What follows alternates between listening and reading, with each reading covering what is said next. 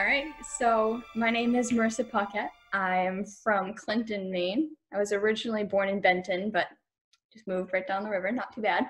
Um, I am currently in school at University of New England down in Portland to study uh, Doctor of Physical Therapy. Um, I've been a member of Penney now for maybe about a year, year and a half, and I was baptized last spring.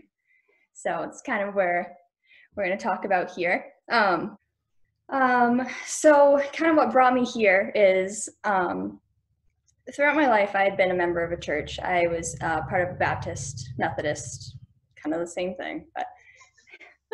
uh, but I've been in church since I was a wee one, and and um, and then kind of got into high school, and that kind of fell off with being involved with sports and things like that. I had kind of just felt a little lost there, kind of fell off of faith and didn't quite follow as closely as I should have. Going into college, I had found InterVarsity through a couple of my really close friends. Um, they loved it, did a couple volunteer opportunities and things through them, and kind of invited me along. And I said, sure, I'd go for it. And I loved it. I fell in love with the songs, the music, and kind of the culture that I found some really close friends with. Um, and at that time, I had been going through some health issues. I had had kind of this bout with endometriosis, which big fancy word for basically just pelvic pain. And I was super fearful going to doctors back and forth, figuring out essentially fertility and that kind of deal. And I was petrified, so scared, because I'd been a dream of mine to have family and that kind of thing as I got older. Um, so super fearful, scared, didn't sh- not sure what to do. And at that time, InterVarsity had come in my life.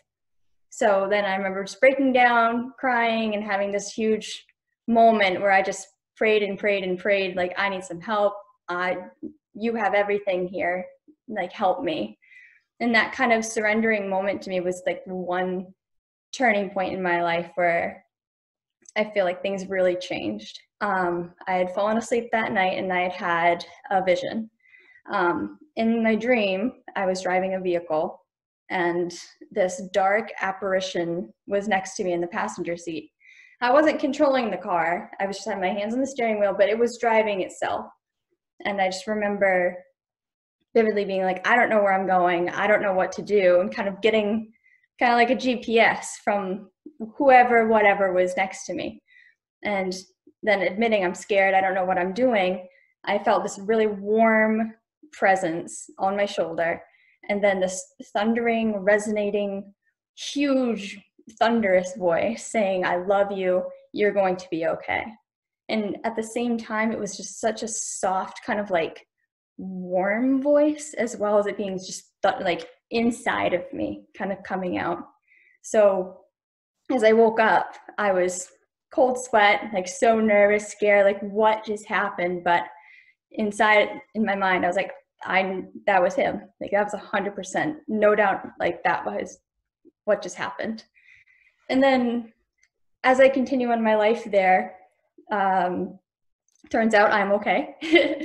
my health is fine, and everything worked out that way. So far, so good. So it was just such an amazing experience for me to kind of have that comfort in knowing that when I surrendered that part of my life, he took control and took care of me. That's just kind of one of those things that the more it's a human nature to want this kind of control over our lives and to know what's coming next and kind of go what's according to your plan. But it can be easily forgotten that our lives are his plan and he has this amazing, amazing plan for all of us to go through. And the opportunities in our life to become closer to him. And the again the more that i gave more aspects and everything to my life to him uh, my expectations were surpassed beyond measures. And again no matter what turmoils that we tend to get in our lives and rough patches these uncertainties the fears that we have which are quite evident right now for sure for everybody but it's that comfort in knowing that we don't necessarily need to have that control because the love and control of our lives are coming from someone who gave his one and only son for us. So to know that amount of love for us is present and looking after us, there's just n- no greater act that could possibly entail that. So, those are kind of the aspects as to why I chose to become baptized.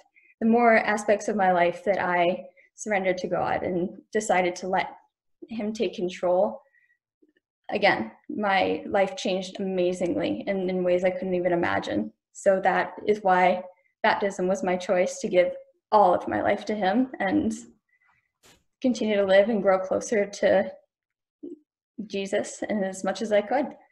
And I just know now that He'll always go before us, He'll go with us, and lead us into wherever we're meant to go in our lives. And that's kind of it.